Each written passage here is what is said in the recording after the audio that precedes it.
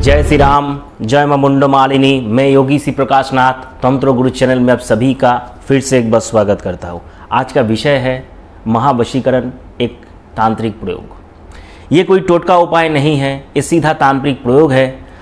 नवरात्रि के इस विशेष मुहूर्त में आप लोग इस उपाय को अप्लाई कीजिए। आप लोग का मनोकामना ज़रूर पूर्ण होगा। नवाक्षर मंत्र से मातेश्वरी का अगर अनुष्ठान करते हैं आप एक विशेष तांत्रिक मंत्र प्रयोग में आप लोगों को बताने जा रहा हूँ आज।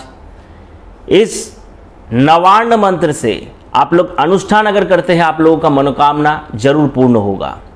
ध्यान रखें, हर समय जब भी आप प्रयोग को अप्लाई करेंगे, आजमाएँगे जब भी कोई प्रयोग को, प्रयोग में सत्यता होना चाहिए, प्रयोग धर्म से जुड़ा होना चाहिए, तभी जाकर प्रयोग आप लोगों का सक्सेसफुल होगा।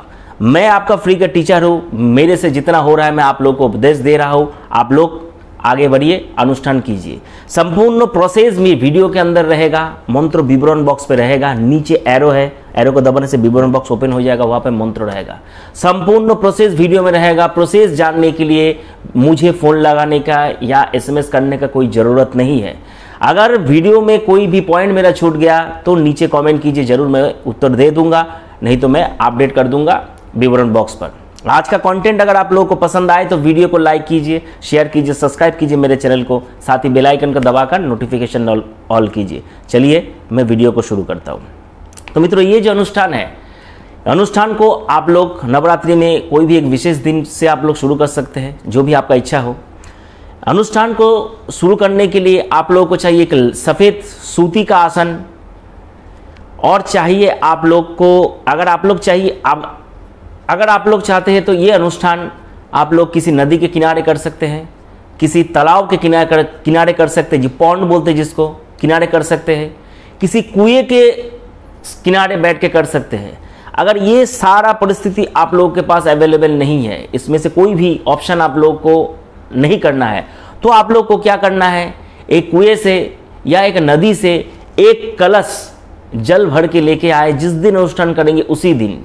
कुएँ से नदी से या तालाब से, ये तीनों जगह में से कोई भी एक जगह से एक मिट्टी का बड़ा कलश में जल भर के लेके आए, उस जल को अपने सामने बिठाए। कलश में कुछ भी करने का ज़रूरत नहीं है। कलश को अपने सामने बिठाए। मातेश्वरी का ध्यान मैं नीचे विवरण बॉक्स पे दे दूँगा।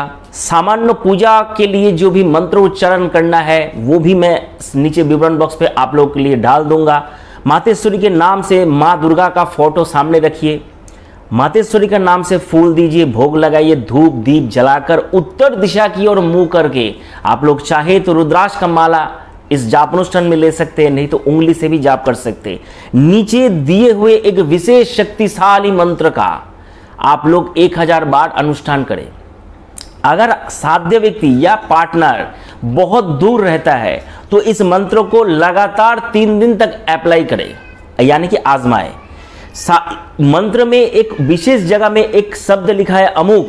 अमुक के जगह पर आप लोगों को पार्टनर का नाम लिखना है। अमुक के जगह पर सिर्फ़ पार्टनर का नाम बिठा कर आप लोगों को जाप करना है। यही है इस मंत्र का विशेष बातें। संपूर्ण प्रोसेस में बता दिया, रुद्राक्ष का माला लेना है, सफ़ेद सूती का आसन में आप लोगों को बैठना है, मुँह रहेगा उत्तर दिशा की ओर और धूप दीप जलेगा। मातेश्वरी के प्रार्थना करें हाथ जोड़ के मातेश्वरी से विनती करें माँ मन, मेरा अमुक मनोकामना है इस मनोकामना हेतु मैं ये अनुष्ठान कर रहा हूँ। जो भी आपके मन में इच्छा है संपूर्ण इच्छा मातेश्वरी से निवेदन कीजिए। निवेदन करने के बाद आप लोग ये अनुष्ठान करें। आप लोग अगर चाहते हैं तो आप लोग किसी के लिए अनुष्ठान करना चाहते हैं, तब भी ये मनुष्ठान को पुरस्चरण पद्धति से सिद्ध करके आप लोग रख सकते हैं, तब भी ये मंत्र आप लोगों के लिए आगे काम में आएगा। साधारण मंत्र है, लेकिन बहुत ही असरदायी बहुत ही शक्तिशाली मंत्र एक बार आप लोग देख लीजिए, तब भी जब कर मंत्र एक बार आप लोग देख लीजिए, आप लोगों को पता लग जाएगा। नवार्ण मंत्र ऐसे ही बहुत ज़्यादा शक्तिशाली होता है, और विशेष नवरात्रि की इस विशेष मुहूर्त पे अगर आप लोग इस मंत्र का अनुष्ठान करेंगे तो ये मंत्र और भी ज़्यादा आप लोगों को सहायता करेगा। मैं आशा करता हूँ इस वीडियो में आप लोगों को संपूर्ण जानकारी मैं दे पाया। अगर कुछ भी मेरे से छूट गया तो नीचे कमेंट ज़रूर करें। आज का कंटेंट अगर पसंद आए तो वीडियो को लाइक कीजिए। मैं फिर मिलता हूँ आपसे एक नए वीडियो में। तब तक घर में रहिए सेफ़ रहिए। हरिओम तत्सत।